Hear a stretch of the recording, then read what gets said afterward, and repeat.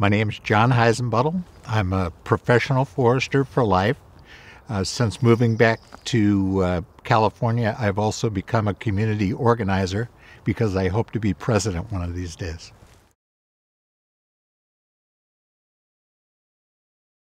Okay, well, let, us start with why I decided to become a forester, which uh, began uh, with active participation in the Boy Scouts uh, since I was eight years old and a Cub Scout. Uh, I uh, also went hunting with my my dad almost every weekend, so it was in the outdoors. I love the outdoors, and uh, decided that that's the place I wanted to be. Uh, one of uh, my pals in Boy Scouts was a few years older than me, and uh, he went into forestry. His name's Steve Wired. And I really looked up to Steve, and I hate to say that because Steve may see this. Um, and anyway, uh, seeing him go into forestry and talking to our scout troop uh, really inspired me to to go on and go on and uh, get my degree in forestry from Humboldt State University, the number one university in the United States. Um, uh, from after graduating from Humboldt, uh, Steve Wired offered me my first job as a log scaler and assistant forester for Louisiana Pacific in Alder Point. I moved from there to uh, American uh, Forest Products Company in uh, Martell, California, where uh, early on I was a, a, log scaler, a measurement specialist, and uh, ultimately went on to manage about 30,000 acres of their land and do all the procurement and policy work for the for the company. It uh, it was the policy work that really showed me that I had the gift for BS because I operated in in uh, Sacramento, and you needed to be able to speak, you needed to be able to write. So, and not many foresters know how to do that. So, that that was the early years, uh, about 11 years with American Forest Products Company. I was born in Daly City, California, so uh, the big city that's right adjacent to uh, San Francisco. And uh, like I said, uh, heavily involved in scouts, heavily involved in hunting and fishing with my dad. So out, outdoors was a big part of my life. Um, went went to high school at uh, Westmoor High in Daly City.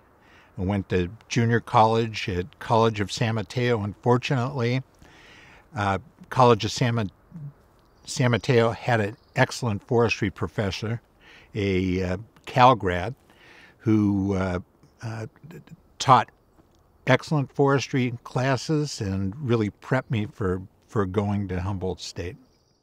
Okay, life at Humboldt State, uh, incredible experience, uh, both the education and and the fun, uh, all, all, the all the stuff we did away from school. Um, I transferred there from a, a two year college. Uh, fortunate to have a, a forestry profession pro, professor at that uh, two year school, the College of San Mateo. So I, I, went into Humboldt with a lot of background in forestry. Uh, became very active in the Humboldt Forestry Club, uh, another networking opportunity. Uh, made uh, long term friends there. Uh, primarily through the the the logging competition. We we had a, a team there, practiced every day, uh, got very good. We we actually won the the first uh, competition at at uh, Conclave in 1976 uh, that had been dominated by uh, University of Montana for years and years and years. So proud of that. I'll show you some of my trophies. Uh, uh, in anyway, made made a, a, a lot of long term uh, friends there. People like Tom Schultz, uh, uh, Gary Reinerson. Uh, we we keep in uh, close contact today. We after school after we all graduated, we uh, we continued our, our logging competition, doing the professional circuit for a for a couple of years, making enough money to to buy beers and hotel rooms and uh, just just have a, a, fun time for the weekend. Uh, Want to mention a a couple of professors that really uh, were in, influential to me. Uh, Bill Seiss, who uh, uh, did did statistics and mensuration.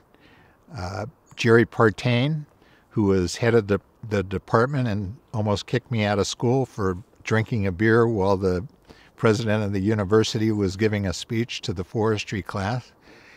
And uh, Theron Odell, who was uh, my dendrology professor, tough son of a bitch, but a, a nice guy, and uh, uh kept in contact with, with all of them. Although uh, Jerry just passed this this year or or so.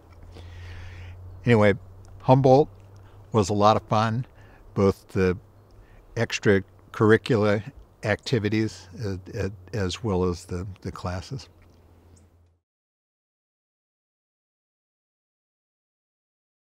Ultimately, uh, for American Forest Products Company, I, I uh, did all the log procurement for the, the three mills we owned at the time, and I represented the company in uh, in Sacramento with uh, the the various trade associations before the Board of Forestry, with the state legislature, and uh, that type of work really attracted me because I got to write, I got to uh, speak publicly. I, I like that a lot. And if you think about most foresters, they they don't get into the forestry profession because they want to deal with people. They they want to be out by themselves. So I I I had uh, a, I thought a unique opportunity because I, I was comfortable speaking and writing.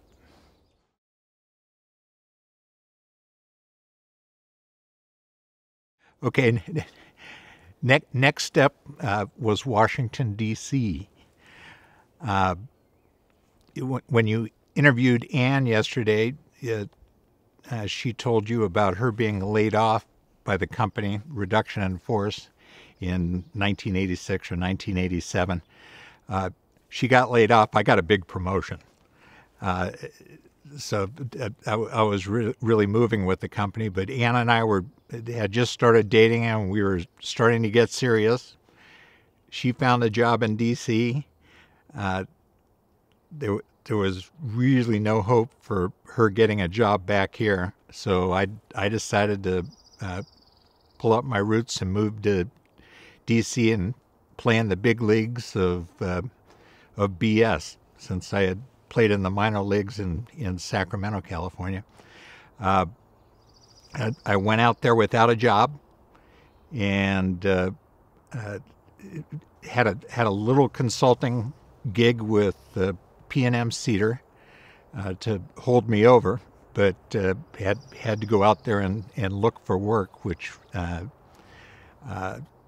was was really interesting because my bride to be had a, a, good, solid, good paying job, and uh, I essentially had nothing. But ultimately, I, I hooked up with uh, America, American Forest Council, which was part of National Forest Products Association. Uh, started out as a consultant for them. Uh, ultimately, worked my way up through the ranks uh, to become uh, vice president of, of, forestry and wood products, which meant I was in charge of uh, policy for the forest products industry ac- across the country, internationally. Uh, was also responsible for promotion of uh, wood products internationally, and uh, uh, codes and engineering, uh, the American Wood Council, which uh, uh, helps the country develop codes for building houses, building wood buildings anywhere.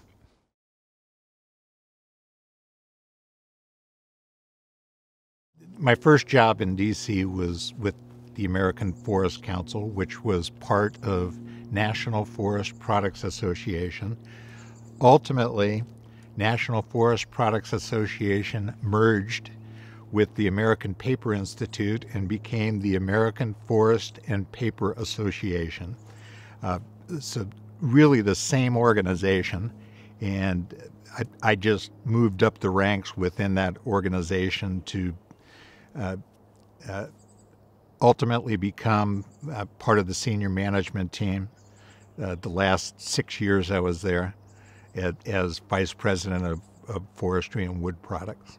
Some of some of the major issues we worked on uh, on on public lands uh, when when when I first started at at American Forest Council and uh, NFPA, uh, the the spotted owl was in its heyday. So it it it was what we called the forest wars, uh, where the the spotted owl was really the surrogate. It was really about managing public forest lands, and that that that's an issue we argued about my my whole 20 years there, and uh, there was a big sea change.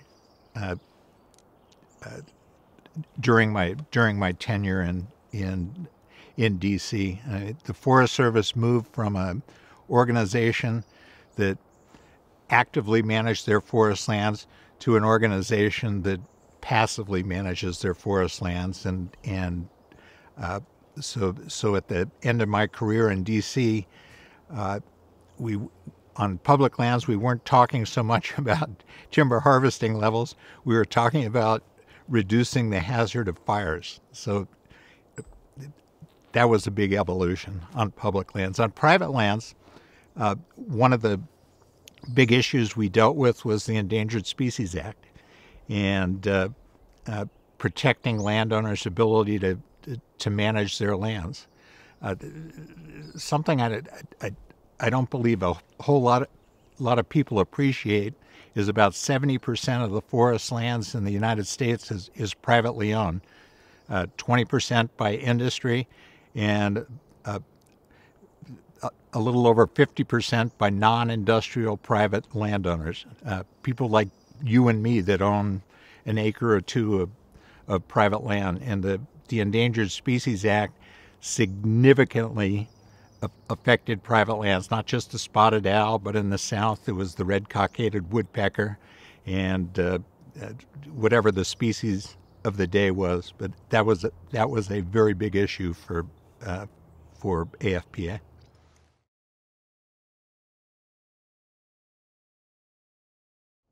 People that don't work in DC automatically believe that everybody that works in DC is a lobbyist. I, I was a registered lobbyist, I think, for the first year I was there. Uh, but after that, uh, we had a whole department at AFPA that, that was strictly lobbyist. Uh, they did the work. They did the work on Capitol Hill, asking people how to vote, and that's the difference between a lobbyist and what I did. I educated people. I didn't ask a, a member of Congress to vote a certain way. So, uh, in that way, I, I, I, wasn't a lobbyist. Uh, it, as far as the day to day activities, it was in association work, it's all about uh, getting the members to come to consensus on a certain position or a, a, certain strategy for advancing that position.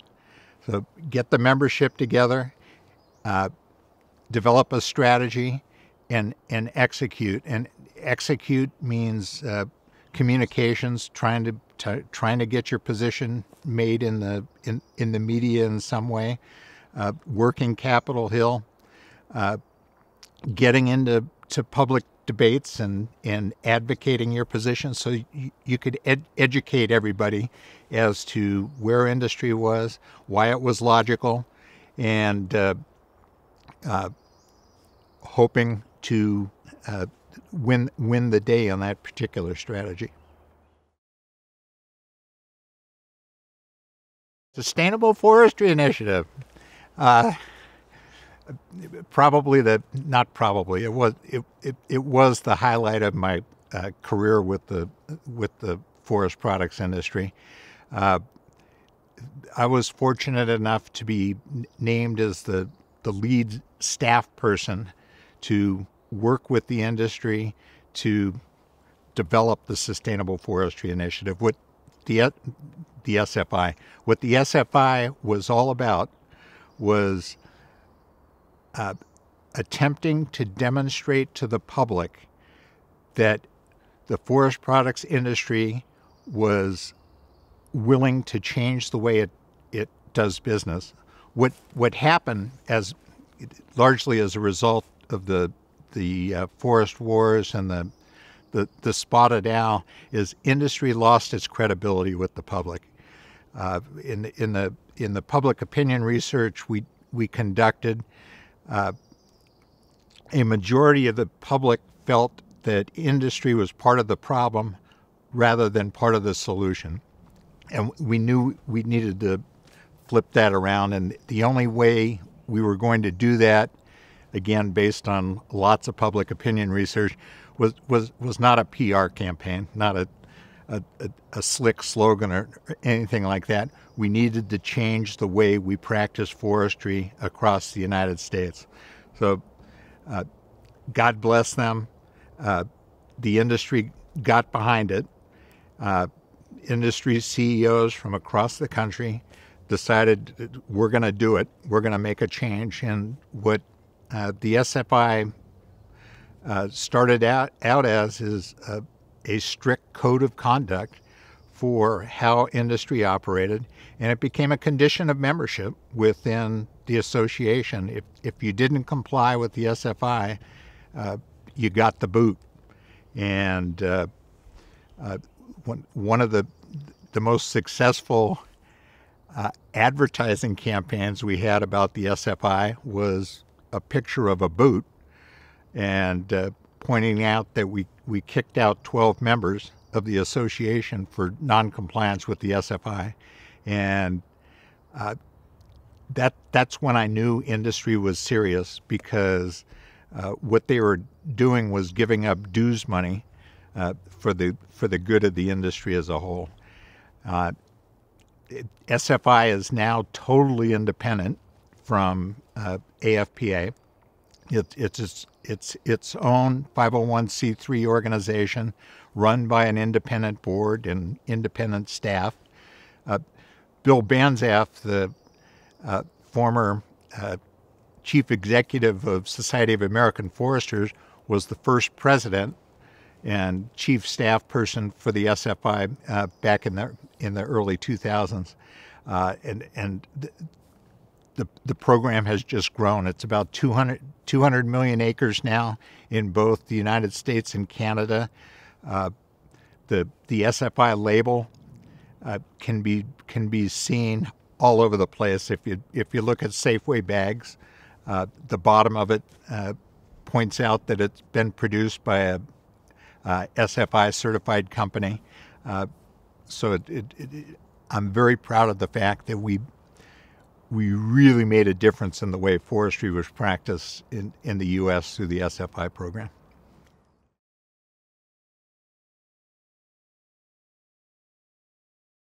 really there's there's only two certification programs in the United States. There's and I'll talk about the, the, the other ones internationally, but the, the two programs in the United States are uh, the SFI and the Forest Stewardship Council (FSC).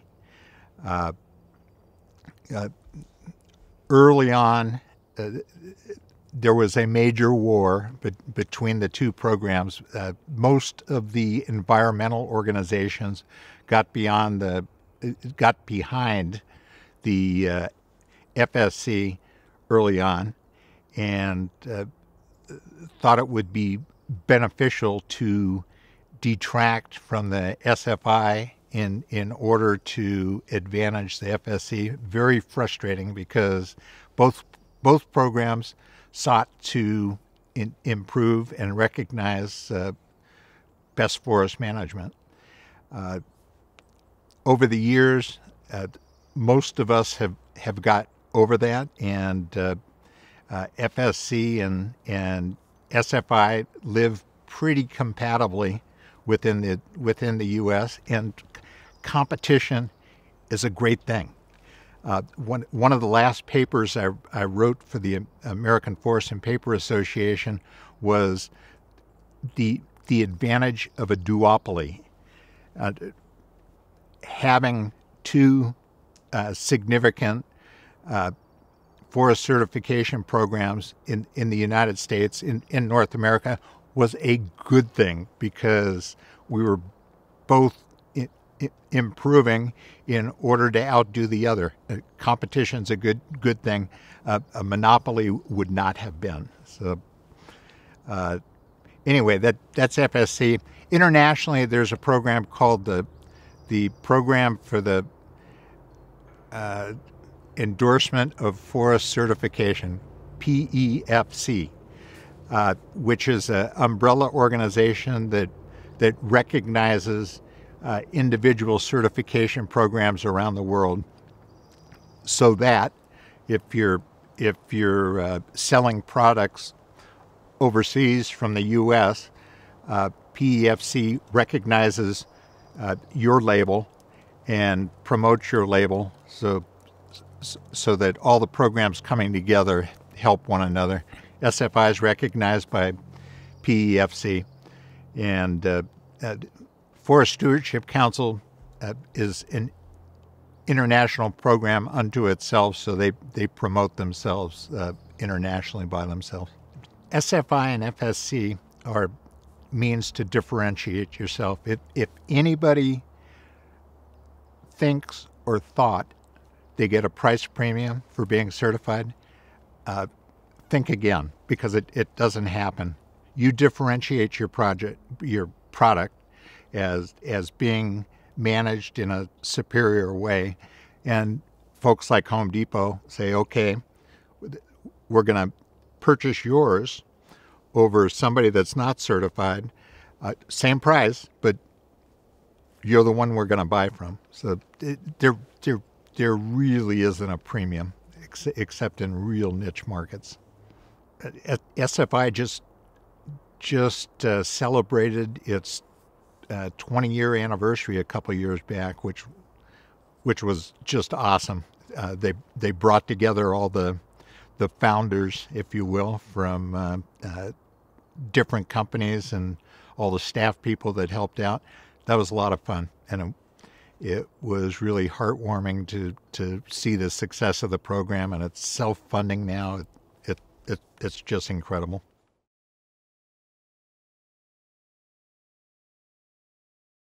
In in my job at at the American Forest and Paper Association, I was fortunate enough to uh, to be responsible for international forestry, which offered me the opportunity to travel to places I never thought I'd ever get to go. I mean, uh, Australia, New Zealand, China, Turkey, uh, Switzerland, Sweden, Finland, Russia, uh, just just incredible. And uh, uh, one of my roles with AFPA is, was uh, representing the association uh, with the United Nations. So I was able to sit on several UN delegations for in, in important forestry programs that the UN was working on. Not not the least of which was the the Earth Summit. Thank you. Uh, anyway, the 1992 Earth Summit, the the very first Earth Summit uh, ever conducted by the UN. It was down in Rio de Janeiro. Uh, I, I, worked on the U.S. Uh, delegation and all the preparatory meetings leading up to uh, to Rio, and uh, then I, I spent three weeks down there during the actual Earth Summit. I was not on the U.S. delegation there, but because I had been on so many U.S. delegations, I I got to stay in the the hotel with, with the U.S. Dell and with the president and several senators, which which was uh, great fun.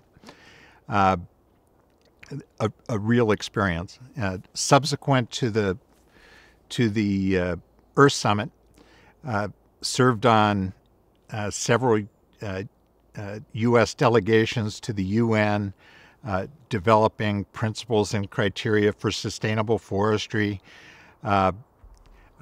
which was called the Montreal Process. was was able to participate and help host the uh, I think it was the the 14th World uh, Forest Congress in in Turkey. Uh, so many opportunities uh, working with the UN, and uh, uh, through my working with the UN, I got to learn a whole new language, which which is UNese. they they have a different way of speaking. They have a different way of writing, and and it it it, it really helped me uh, learn patience since nothing moves quickly in the UN. And uh, it had to learn about that and had to accept that.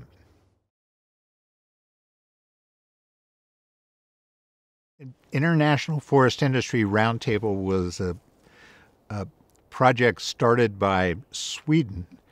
Uh, uh, the Sweden Forest Industry Association invited uh, associations from around the world to come together and discuss forestry, uh, share ideas, uh, what have you.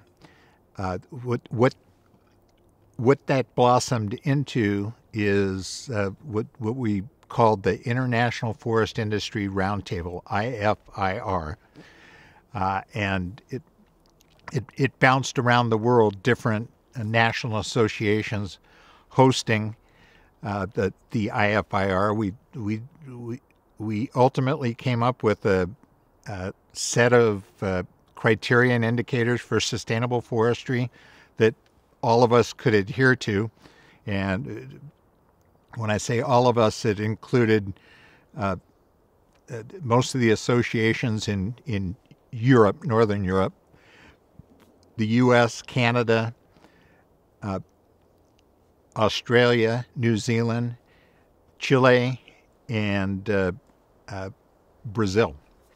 So, all in all, we represented about 80% of the uh, production of forest products in the world. So, it, it was a pretty substantial organization.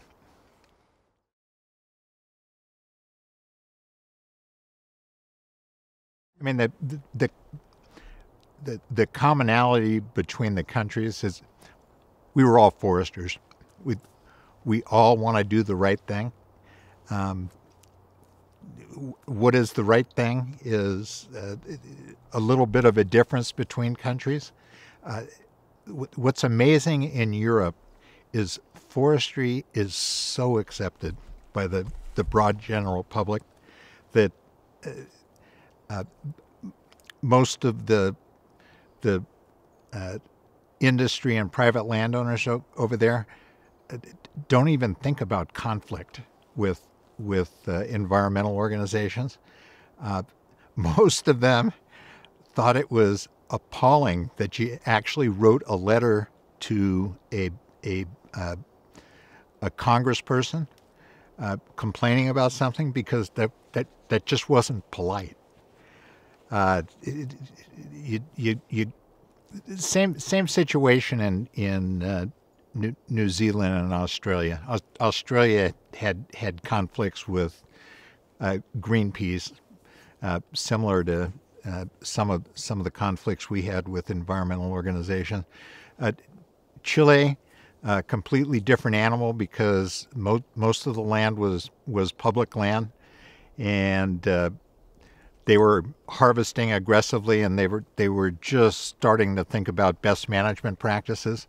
But like I said at the get go, uh, we were all foresters. We all wanted to do the right thing, so that that brought us together. Chile learned from our BMPs. Uh, uh, we we learned from uh, the the Europeans uh, about some advanced practices and and op- operation uh, techniques that that really could have Im- really improved our forest operations in the, in the U.S. Uh, economically. Uh, they they they know what they're doing over there, and they they they manage every single acre of forest land.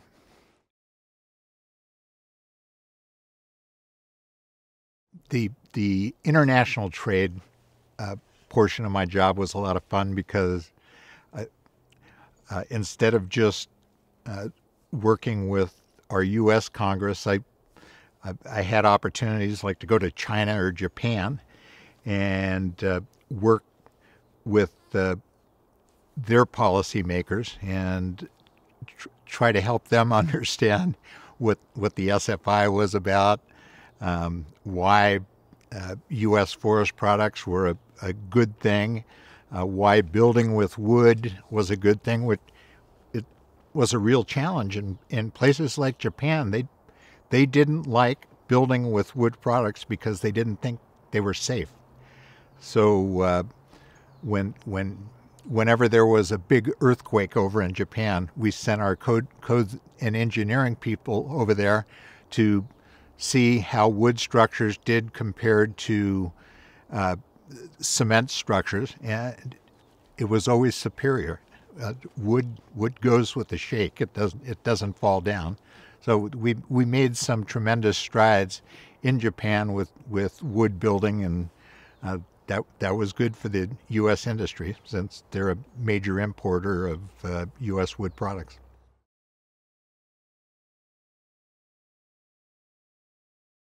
Pinchot Institute, I was lucky enough to, I, I, guess I'm lucky enough to have served on their, their board of directors. The Pinchot Institute is a public private partnership, uh, public being the Forest Service, uh, private being in, individuals like me, uh, that was established by uh, President Kennedy in 1962, and it was it, it was a way to uh, bring the public together to to uh, understand forestry, and the Pinch, Pinchot Institute's job was to be a think tank and uh, consider the the forest policy issues of the day and uh, write reports in a way, in a manner that uh, the the public could understand, and uh, serve as a venue for for debate uh, amongst professionals over uh, different policy issues. Uh, really interesting board because it, it, it was so diverse. It, it, wasn't just foresters, uh, it was a mix of uh, people from the public, professional foresters. There was always somebody from the Pinchot family on the board, which was very, very cool. And the, the headquarters was at Grey Towers, which was Gifford Pinchot's uh, residence uh, when when he was in Pennsylvania, governor of Pennsylvania, and it, it was his family residence. Just a, a gorgeous place. So it, it was very cool to be able to meet there with the board and uh, uh feel the present presence of Gifford Pinchot and uh, try to do the important work of being a, a think tank on, on forestry issues what what helped me with the Pinchot Institute is is being involved with really smart people that had uh, different points of view. Uh, so it, it, it, it, it's, it's another one of these opportunities that help teach me patience and uh, the ability to, to listen and, and debate. Uh, frustrating at times, because I'm always right. Um, but uh, anyway, it was it, it it it just helped helped me understand how to be how to be thoughtful and and work with people that were really really smart that had a different point of view. Which which which really happens in DC generally. Um, even though we we debated heartily with many environmental groups in, in DC. In DC, they're all pros. And at, at the end of the day, we could put our arguments behind us and go sit down and have a beer and be polite. Uh, as you come back to the state level, not so much. Resources for the future, a, a, another think tank in uh, in DC. R, RFF has been around, uh, I, I, think, since the 1940s. Uh, again, really smart people. Uh, I was on the uh, the Forestry and Natural Resources Advisory Board, so uh, I got to help out that part of their program as far as what, what, what, were the issues of the day, what what should they be researching. Uh, we didn't get uh, mixed up into what results they came up with uh, because we we all wanted RFF to be absolutely independent, hire the be- the best, most thoughtful people to do the research, and uh, come out with the reports. And it was another situation where I was around the table with really, really smart people, and they were they were uh, almost all foresters or natural resource professionals, and and uh, so the, the discussions there were were very enlightening. The the first American Forest Congress was in the early 1900s. It was set up by uh, President Teddy Roosevelt, and it it it it it brought together uh, Forest Service and uh, private land managers, and it and it really led to a sea change in forestry in the United States. And that sea change was reforestation. Uh, folks like uh, uh, George Weyerhaeuser were there and made the commitment to start reforesting uh, the land after timber harvesting. So, a big leap uh, in the early 1900s. Uh, they over the years, it's not a, a, a regular uh, schedule, uh, somebody comes up with the idea of a forest congress, and uh, lucky during my time in D.C. that uh, it was Weyerhaeuser that really kicked it off together with uh, Yale University to uh, organize the Seventh American Forest Congress. I was on the board of directors helping to, to organize the whole thing. Uh, we must have had five, six hundred people attend from uh, all different walks of life. Uh, uh, the environmental community was well represented, industry was well represented, uh, organized labor was there, which was a lot of fun. Uh, uh, member, legislative staff from Capitol Hill, a real mix of people, and what we did was talk about the issues of the day and some some pathways forward. I I I can't say that uh, a lot of substance uh, came came out of the Seventh American Forest Congress, but relationships did. Uh, people that uh, uh, I had never met before uh, I got got to know, got to appreciate, and it it, it became part of my network of uh, friends in in DC that could help me get things done. Tensions were were really bad between the environmental community and the and the forest products and its industry and private landowners generally. Uh, so so that that's what really uh, uh, provide the incentive for for Yale and for Weyerhaeuser to work together uh, to uh, pull it off. And Yale's Yale and Weyerhaeuser have had a long-standing relationship, so it was kind of a, a natural. And then the, the, the board of directors really diverse, uh, and and that was a good thing. So lots of different points of view, and uh, they all got on the table with uh, several hundred people that attended. a couple of skill sets that I, I believe all foresters need to, to really excel is the ability to, to write competently and uh, to, to speak publicly. And it, it, it doesn't come naturally to many foresters that go into forestry be, because they want to work in the woods and be alone. But uh, it, in, in these days, you, you need to be able to communicate to the public about what forestry is all about, uh, why you do what you do, and uh, do so in a in a convincing man- manner.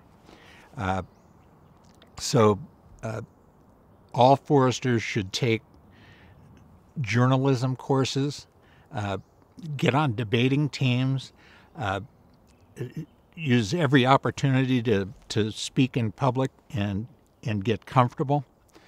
Uh, really essential. When I was, I was fortunate at Humboldt State, I decided to take uh, several journalism classes, mainly because I was chasing a girl that was a journalism major.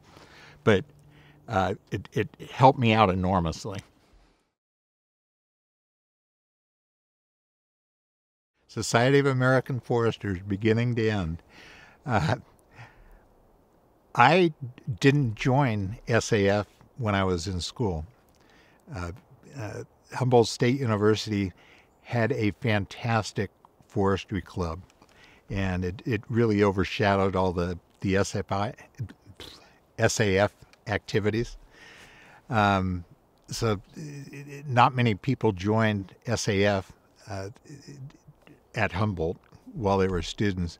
It was uh, in 1979 when I was just starting out at at American Forest Products Company, where my bosses Bob Maben and Warren Carlton encouraged me to get involved in SAF.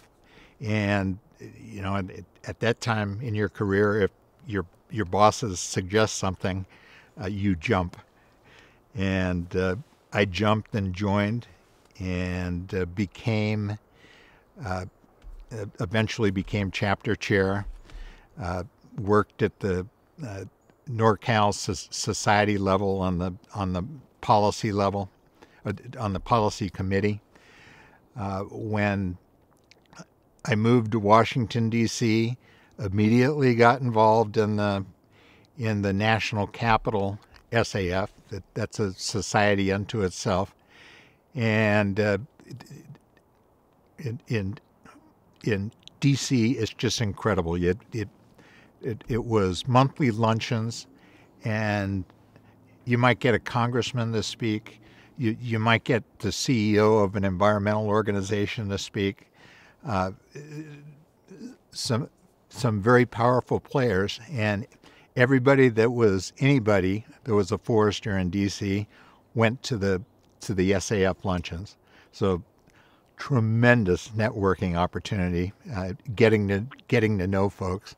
I mean, the the first person I I met was uh, Roger Sedjo, who was uh, the lead person at Resources for the Future uh, in in forestry research, and you know, quite a few years older than than me, but uh, took the time to talk to me, uh, tell me about DC. And this was this first meeting. I was a rookie. I didn't I didn't have a job yet, so it it it, it felt good to start start meeting folks.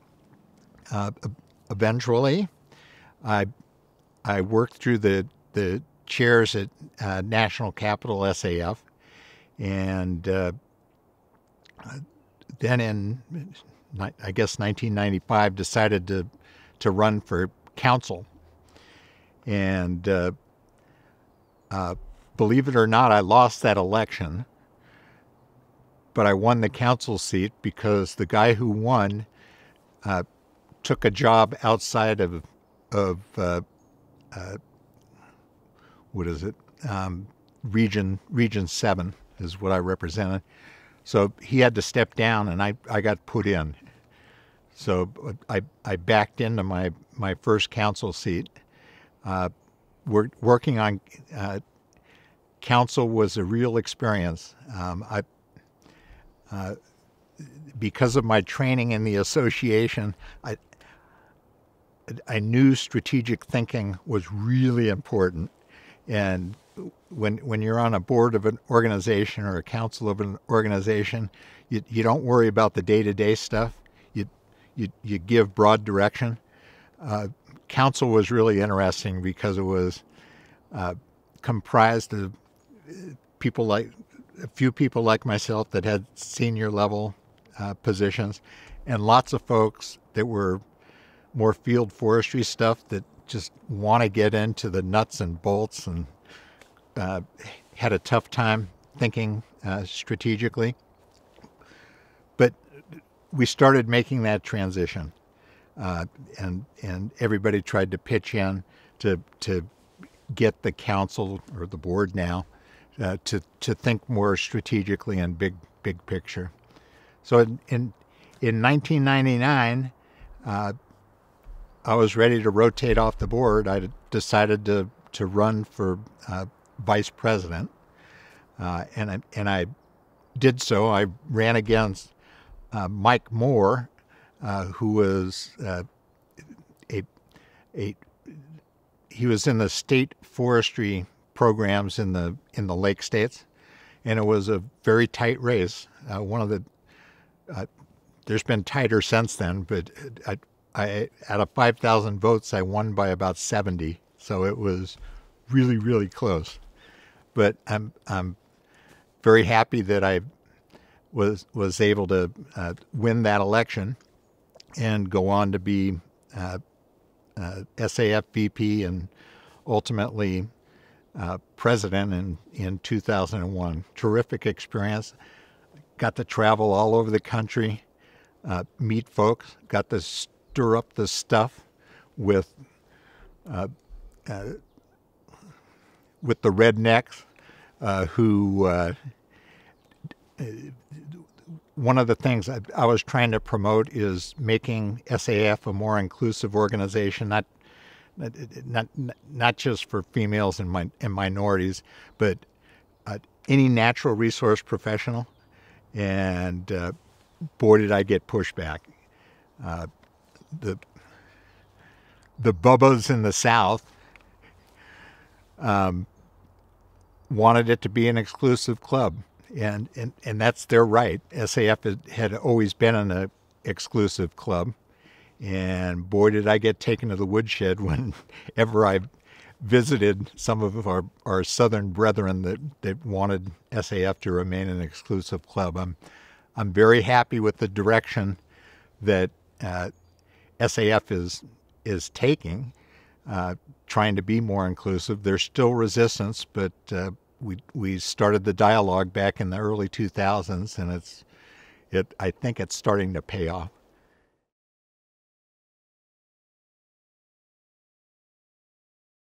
lead, leadership of, of SAF was was a challenge because it, it, it, it really is more diverse than any other organization I'd been involved with. But uh, what I've learned uh, through experience and leadership training is picking two or three priorities that you're going to advocate um, and and push those. Uh, and uh, don't try to be politically correct.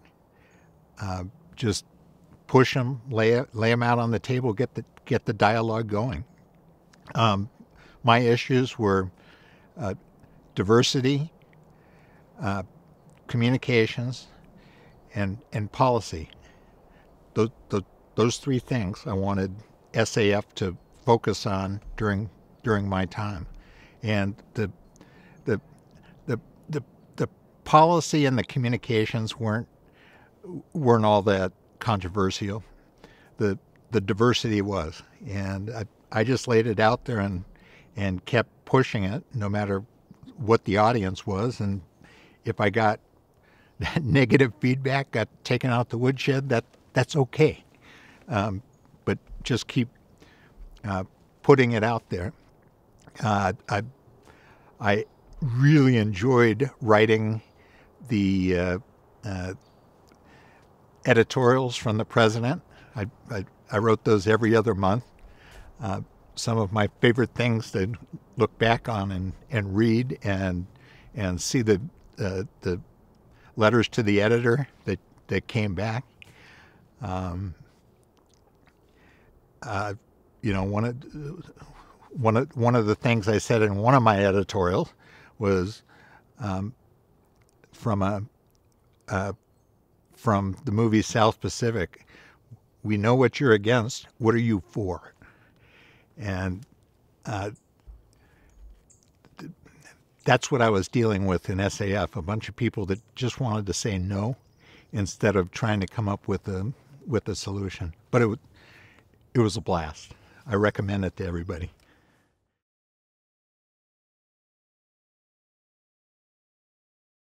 Uh, start from the beginning. CLFA SAF split never should have happened, and uh, it, it, I I think that was a function of personalities and perceptions when it when when it happened. It it it, it just wasn't smart. Um, I mean, perception that uh, SAF didn't represent uh, foresters on uh, California issues at the at the state level, and uh, they probably didn't as hard uh, as, as much as they could have. But if CLFA members had got more engaged with SAF, they they could have changed that all around. Uh, SAF state societies have a lot of flexibility to uh, operate at the state level, and I've, I've, I've seen that across the country since uh, since I was pres. Um, so it, it, I was I was really disappointed when that split happened. I when Anna and I first moved back to uh, to California, tried to bring them together, have a, a single administrator, uh, tried to uh, get them to uh, come up with a dues structure so uh, both parties won, but uh, really didn't go anywhere. And Anna, Ann and I both belong to CLFA and, and SAF because that, that's the right thing to do. But I, I wish more foresters would do that. And we're, we're all but retired. So um, paying those two sets of dues, uh, it comes up to uh, a, a, significant chunk of change, but it, all, all foresters should do that foresters are like Marines. You're always a Marine. So you're a forester, you're always a forester, and you have a responsibility to support your professional organizations.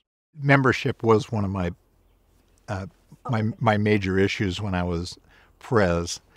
Um, matter of fact, I implemented the the Heissenbuttel Challenge, which was uh, whichever school could recruit the most SAF members would uh, win a, a $5,000 grant from SAF. Uh, and I'll be darned if Humboldt State didn't win. But it, it, it was good. It, it generated uh, several hundred new members, uh, mainly student members, which uh, we need the students. That That's the vitality of our, our organization.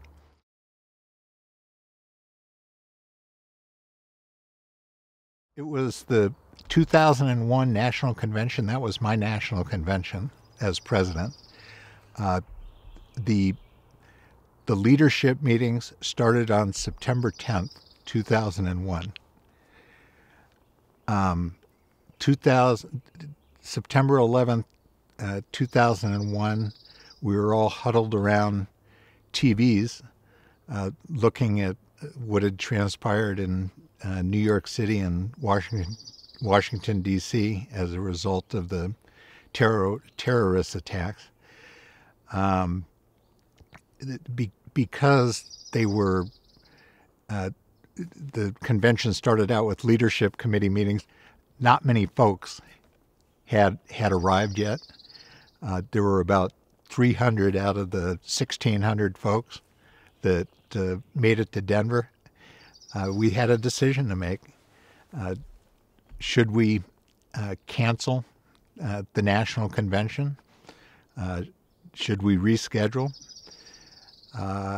And a, a, handful of us from the leadership sat down and talked about it, and we decided we had to cancel the national convention. That had never happened before.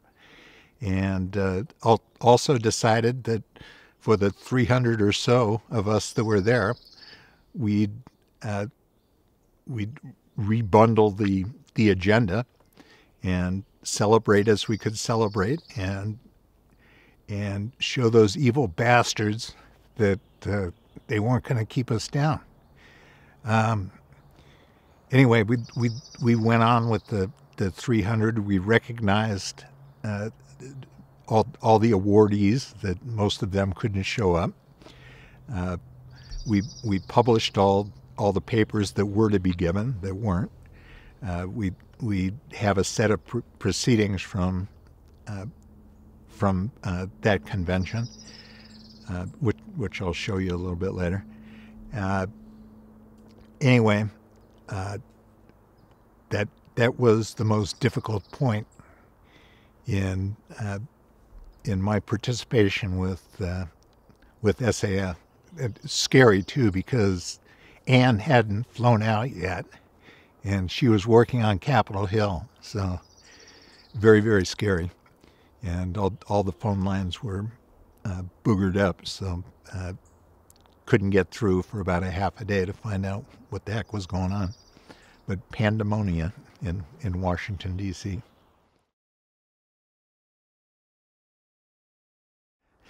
Uh, the, the 2000 National Convention, that was the centennial, and I was I, I was convention chair, so I, I, I led the group that that organized the whole thing.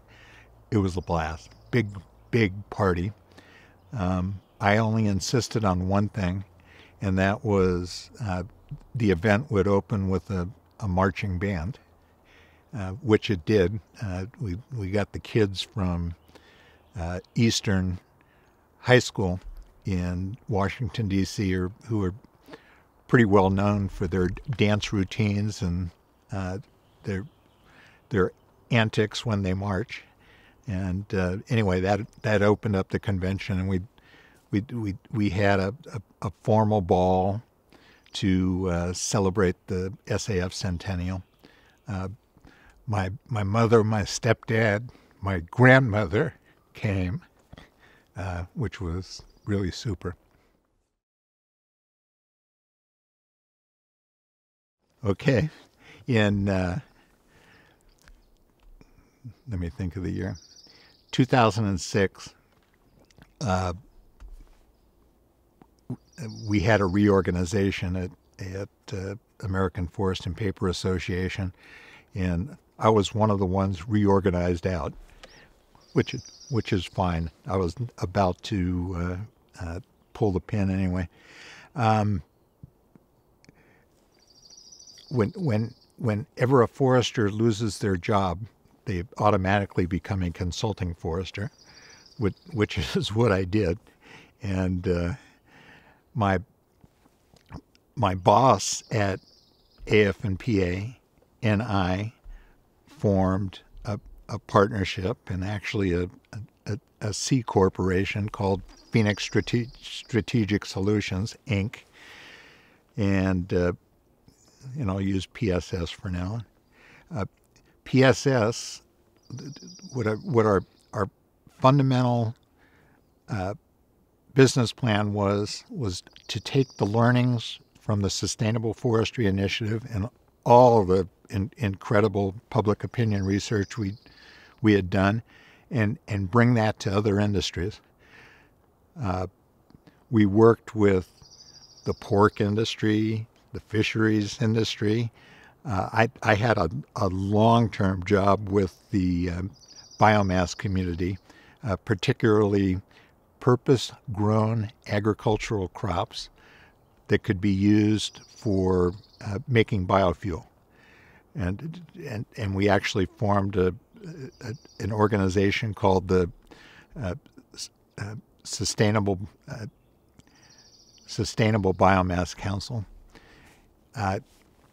with uh, a, a, diversity of members. It, in, it, it included uh, many within the, the industry, as well as environmental organizations like the Nature Conservancy, Natural Resource Defense Council, um, Environmental Defense Fund, uh, just just to talk about how to develop a sustainability plan for purpose-grown biomass crops that, that might be replacing other agricultural crops, uh, might might be replacing grasslands, what have you, uh, trying to get a, ahead of the curve. So that that was a lot of fun, uh, uh trying to help a, a new industry.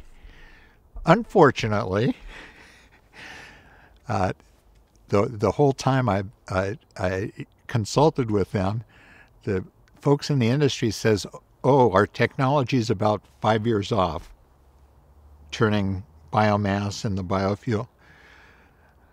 That was 10 years ago. Today, it's still about five years off, and the, the, the price of uh, oil, a barrel of oil, has just tanked. So uh, biofuel's not looking so good these days. But it, it, it was a good learning experience, and it, it paid the bills. And I, I, did some consulting work for SAF during that time. I I helped them uh, uh, write a, a, a, book called the uh, the State of America's Forests, and I'll show you that. that it's on my table.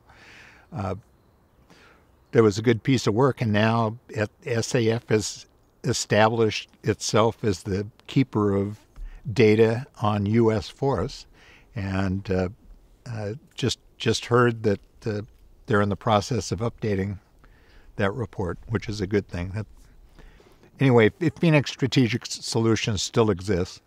I own 500 shares. My partner, business partner Steve Lovett, owns 500 shares, and we we we haven't officially closed down the, the shop yet.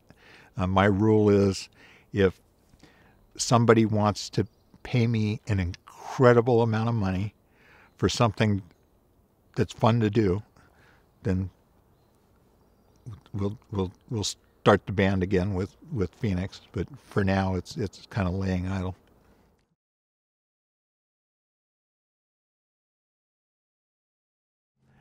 One of the more interesting jobs uh, we had with uh, uh, Phoenix Strategic Solutions (PSS) is uh, one of my buddies that I, I met through the association started his own consulting business. He was a wildlife biologist, and he was helping the coal industry, uh, not just the coal industry, the, the strip mining industry, uh, come up with a, a, plan for sustainability.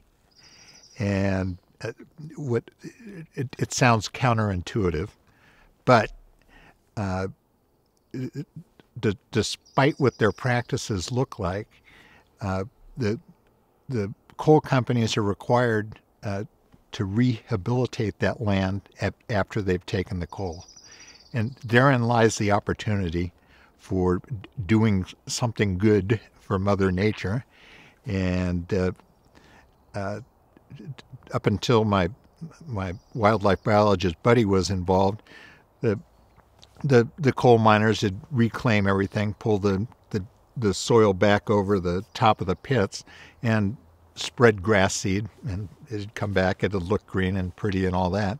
They were missing an opportunity to to really uh, enhance the wildlife habitat, enhance the, the biological diversity, and that that's what the coal industry hired him and me uh, to do is try to come up with some sort of plan to do a better uh, job of uh, rehabilitating. Uh, unfortunately,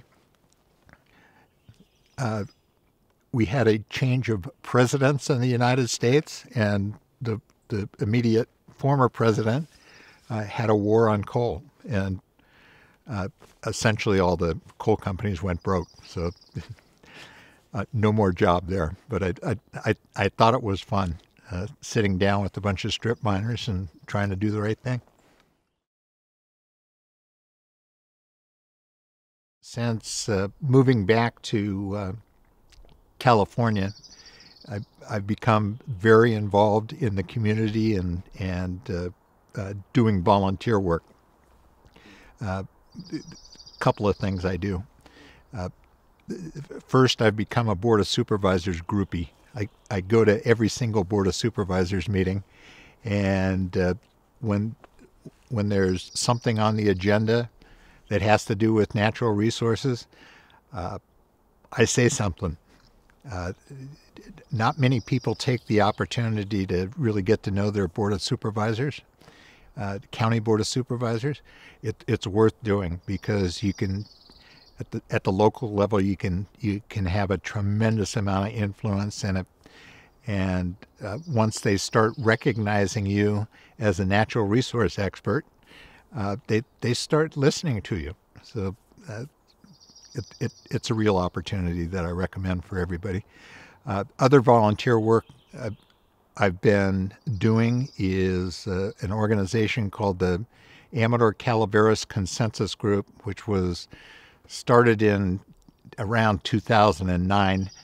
Uh, uh, a board of supervisor in Calaveras County uh, got together some environmental groups and industry folks to help help mitigate the local forest wars over uh, forest management on na- national forest lands in on the Eldorado and the and the Stanislaus National Forest. Uh, good group. Uh, there's about 30 or 40 of us that participate once a month. We take a look at Forest Service projects. We've uh, uh, secured funding from the Forest Service uh, uh, for uh, the local collaborative. Um, it, it, it, it's still up and running.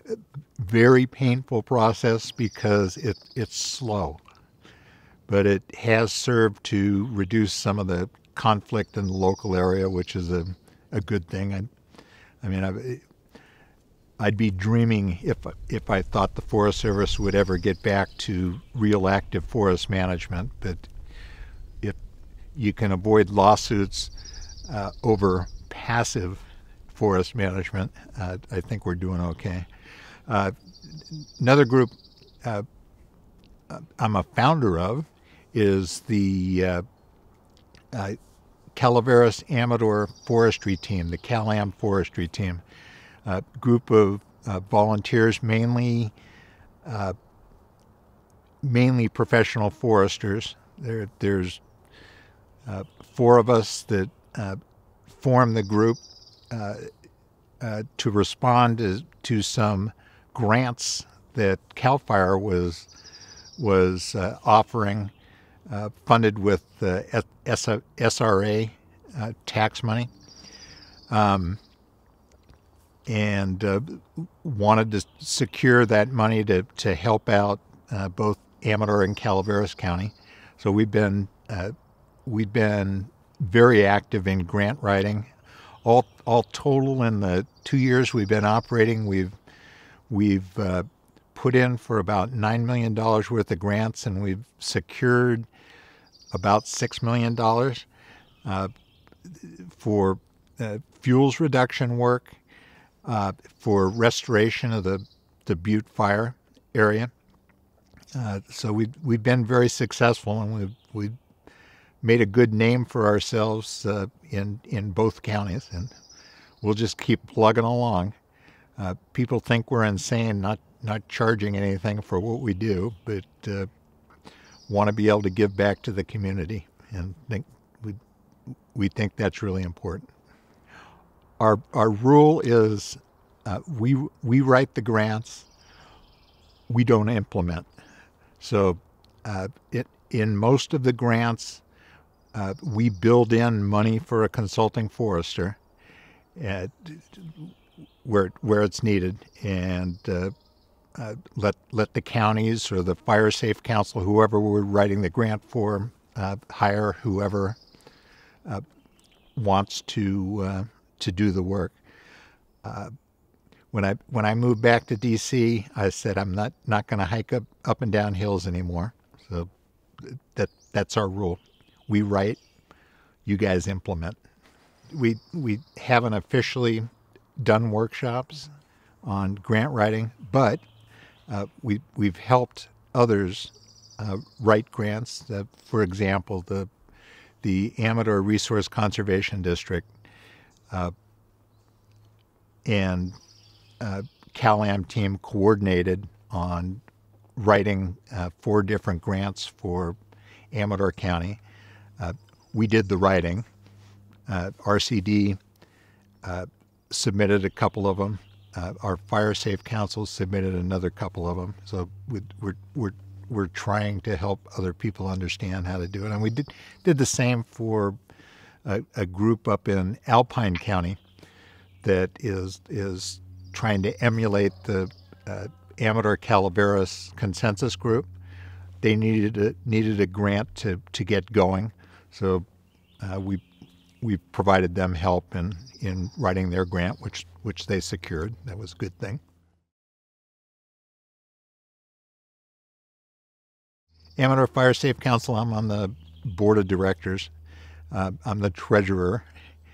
Uh, interesting group. There's a, a, a couple of us that are professional foresters on the group. Other the rest of them are interested citizens. Uh, uh, in, one's an insurance agent, which is a good perspective to have when you're you're talking about fire. Another one's uh, the the the chief at the volcano telephone office, so he knows communications, which is an asset for the Fire Safe Council. Um, I, I I I got involved because um, I like what they're doing. Uh, re- reducing fire hazard. Uh, and I finally volunteered to be on the board because they were in desperate need of a, a treasurer, somebody that knew how to how to uh, uh, make the books work and uh, un- understand budgets. And uh, so I've been doing that for a couple of years. It blew my mind for for seven or eight years. They operated with no budget nothing on paper, just whatever came in, came in. We've, we've changed that.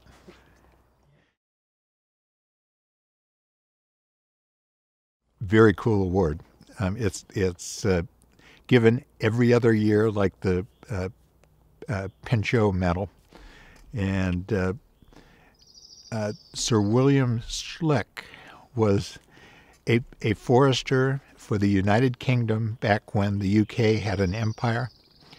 And uh, he, he traveled through all the colonies in the late 1800s preaching forestry, reforestation, uh, professional forest management. And that the award is given to an individual that has had a significant impact on uh, domestic and international forest policy. So uh, it it was very nice to get that award. Uh, it, it, it's recognition of a body of work, and I was fortunate enough to have the opportunity to uh, to practice forestry domestically and, and internationally. Amador Eldorado Forest Forum was established uh, back in the 1940s uh, it, it, it, forest forums were actually created throughout the state of California back in the 40s, and it was it was an outgrowth of SAF trying to relate to, to local citizens. And what Amador Eldorado Forest Forum is, uh, an opportunity for just uh, local citizens, a lot of loggers, um, foresters, and women in timber types, uh, Forest Service folks come together once a month, and our our whole purpose for being is to raise money for scholarships for uh, kids going to forestry school.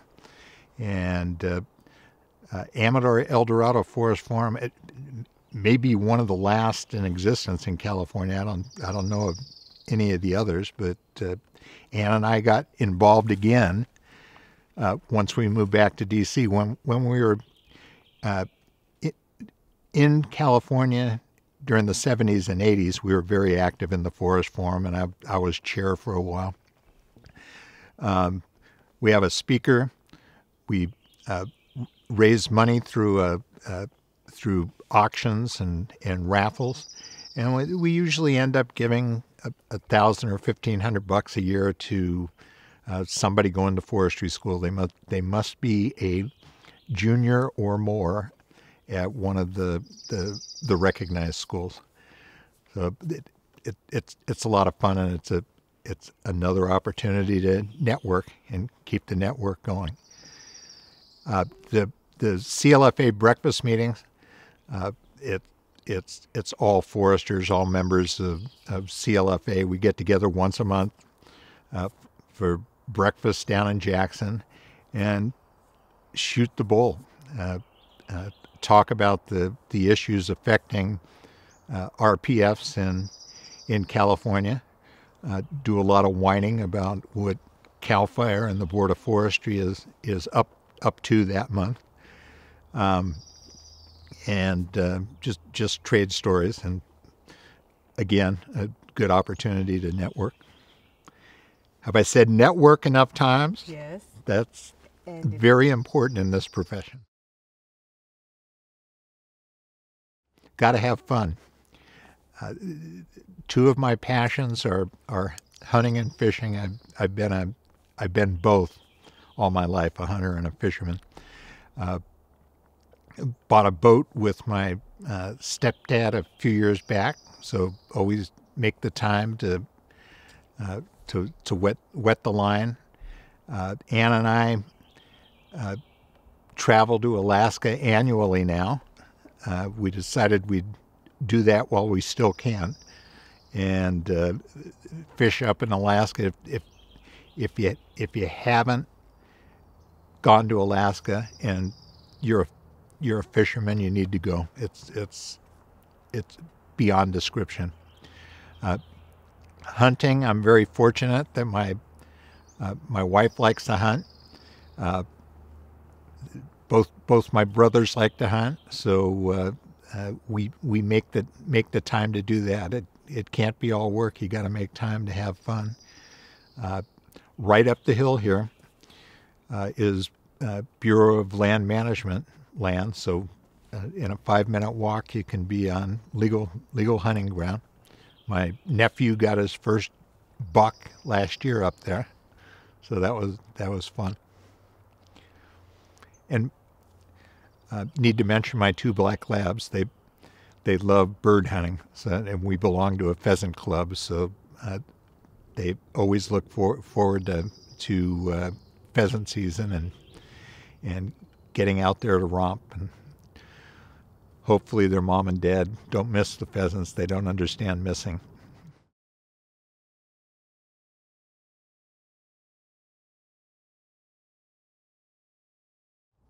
Biggest changes I've seen in, in forestry over my career, there, there's two.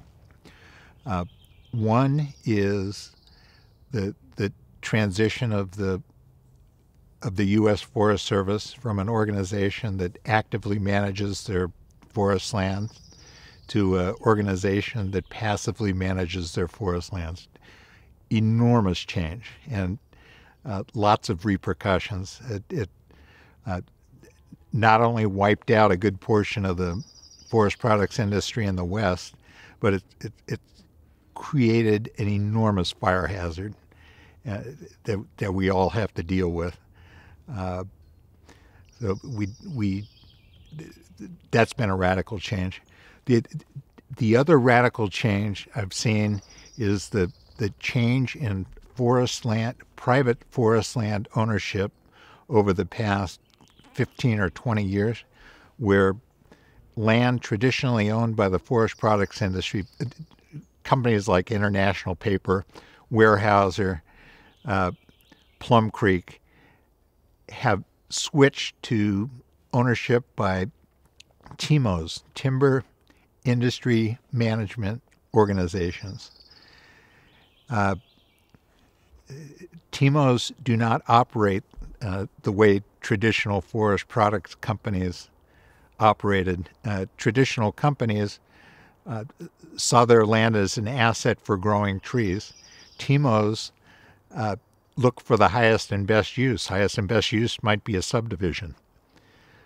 Uh, so uh, representing TIMOs was much different for an association than uh, representing uh, traditional forest products companies, and and the impl- imp- implications for land management uh, changed dramatically with that change. Heck, look at look at Weyerhaeuser now. They they split off all their land into a TIMO. Uh, they bought out uh, Plum Creek. Uh, so now the, the the largest private forest land owner in the U.S. is is the Weyerhaeuser TIMO, which has about 16 million acres. Huge. Con- conversion of forest land to non-forest land. That that that's a big issue. I mean, it. Uh, traditional forest products companies would would look at uh, investment in trees over the long haul, you know, 40, 60 year rotation. Um, TIMOs need to answer to their stockholders, board of directors, every single year. They need to they need to make uh, six, seven, eight percent, and in order to do that, you you can't depend on just your timber asset. You you have to look at real estate. And so there, there's a, lot of land conversion occurring. And these are private landowners, so they, they have the right to do that. But if, if, if you're a forester, it's, it's a little disquieting to, to see land converted to, to houses that'll never be forest land again. I think it's happening more in the South. In the South. Um, where uh, if, if you look at re- retirement trends, uh, a lot of folks are moving to the south because because weather is good, uh, taxes are very favorable, so uh, uh that's where a lot of the forest land conversion is is happening. You you, you think about California, there there aren't many places uh, left that, that are forest land that are, are, are good for con- conversion to, to something else. So I, I, I don't see it as a, a big issue in California. And with, uh, I mean, th- think about it. Sierra Pacific Industries is the, the largest forest landowner in the in California, and they're they're they're family owned. They're a, they're a, a, an S corp. Uh, they're not under any of the same pressures to convert forest land to some other use because it's just red in the boys.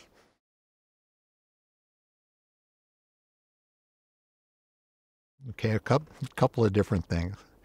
Um, one of the most important pieces of advice I got right out of forestry school from an older forester is you're, you're a college kid. You don't know shit. Just listen and watch and learn. Uh, and I took that to heart. I mean, it, uh, he took me to a, a, a logging side. I had, I needed to. They were without a, a, a chaser on the logging side, so I got volunteered to to be chaser on the the landing, and I just listened to the logger, and I didn't spout off, and uh, listened and learned. Um, the, the other piece of it, two more pieces of advice: join SAF, start your network. Uh, it's it's really really important, and uh, work your tail off. Uh, volunteer to do more. Uh, put in the hours. Demonstrate to your boss that that, that you want to work hard. Uh, it, it, and if if you work hard, it pays off it's the responsibility of every professional forester to to join Society of American Foresters. It it's just something you have to do. uh, not only to uh, Im- Im- improve yourself, keep yourself up to up up to speed on the, the science of the day, but the the networking is so incredible.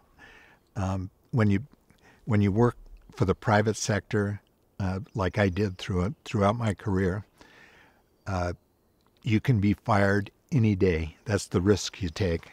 Um, I, I, never worried about it because of my SAF network. Uh, I, I, I, knew I'd have a job the next day uh, because of the contacts I made through SAF. So it, it, it's well worthwhile for for any any uh, fledgling professional to get involved with. Uh, got to say Bob Mabon, uh, Warren Carlton, uh, who are both with American uh, Forest Products Company. Uh, from a communication standpoint, uh, Luke Popovich, who helped me with my writing style. I thought I was a good writer going into DC. Um, after seeing Luke edit my stuff, I realized I had a lot to learn.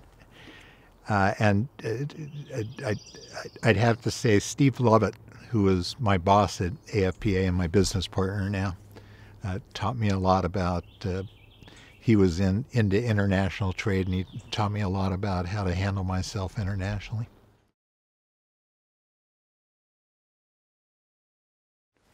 Let's take California first. Uh, to me, California is almost hopeless. Uh, the the regulations are out of control. It's it's hard to practice forestry in this state.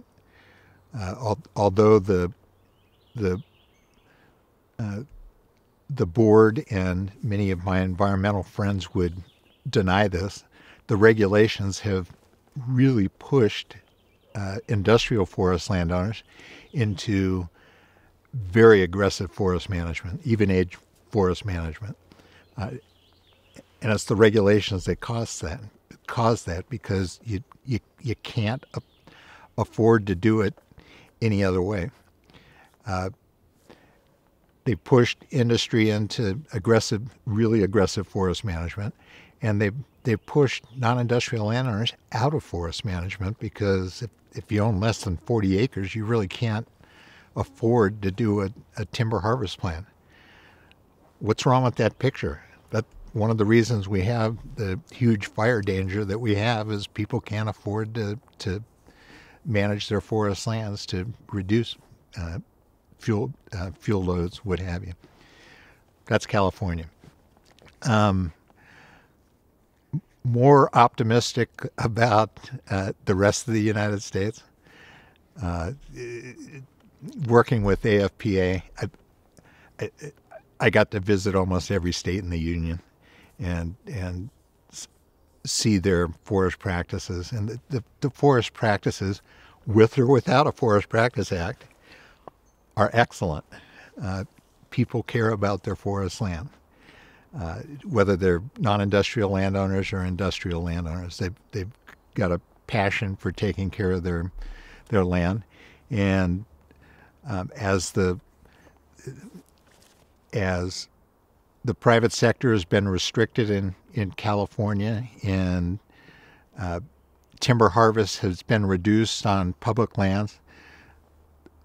The, the southern part of the United States and Canada has really sucked it up and uh, started to, to manage more intensively and and uh, su- supply our our need for forest products. So, um, which provides financial incentive for those landowners to keep their forest lands as forest lands, which is a good thing for foresters. So I'm optimistic about the rest of the country.